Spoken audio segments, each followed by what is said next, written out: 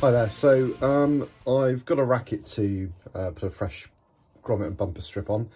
Uh, this racket is a Carboflex 125 X Speed, so uh, the previous model to the current air shaft. And I've actually run out of the grommet strips for the X Speed, which also fit the air shaft as well, so same thing.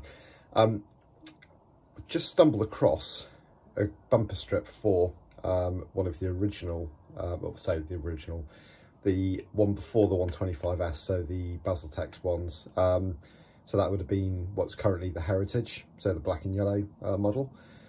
And I've just kind of done a little bit of a recce just to line up the grommets, and it looks like they most likely fit. So I thought I'd take an opportunity to show you, first of all, how to fit a bumper strip but secondly um, to see whether or not this actually works in this racket or not because it'll be a little useful tip if not because if it if it, if the heritage bumper strip fits an X speed and um, an air shaft then you've basically got the majority of the Carboflex range covered uh, minus the uh, the 125S, 130S, etc., which require a kind of two-piece bumper strip with the um, layer that goes over the top as well.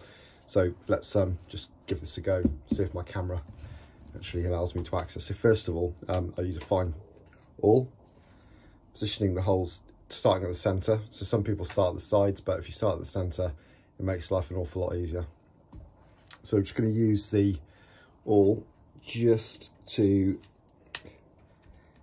put it through here and it just teases things in. So it's actually really important to line up the grommets.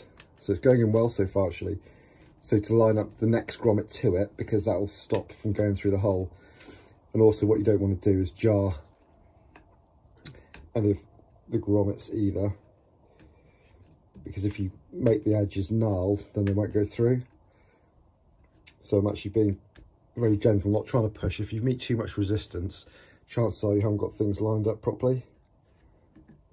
So as you can see there, I'm, I'm kind of going one ahead on some of them. So, so far it's actually going pretty well. Right, okay, so that's one side done. So as we can see, all of the grommets, all the pips are in nicely, all looking fine on the top.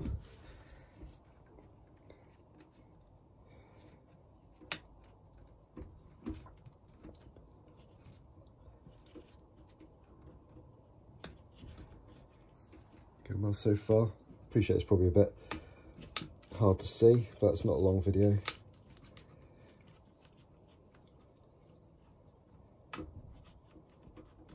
But if this works, this could be a nice little time saver here because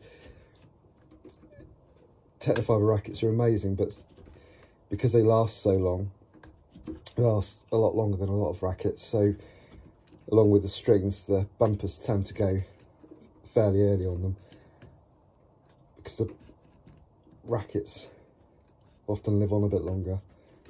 So if you can just sort of stock up as a stringer or as a player, if you can just stock up with one type of bumper, it'll probably help you a fair bit. Certainly easier for a stringer as well, not to have to order loads of different sets. And the side strips, again, a little bit different maybe on, on these ones to others. So example, on the X Speed, you get the um, the little pointy bit at the bottom, but the, majority of the time it's the bumpers that go rather than the side strips. So, as you can see, that all seems to fit absolutely perfectly. All the grommets are lined up, all good. Nice and flush on the top as well. And the other added bonus as well with this bumper strip is it's a little bit thicker than the one you get on the X Speeds normally.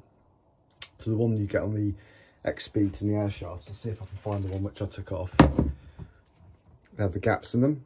So you can see they've got the kind of gaps in there, which means that, uh, and they generally are a bit thinner. So you can see this one's been well and truly cooked. So there you go, top tip.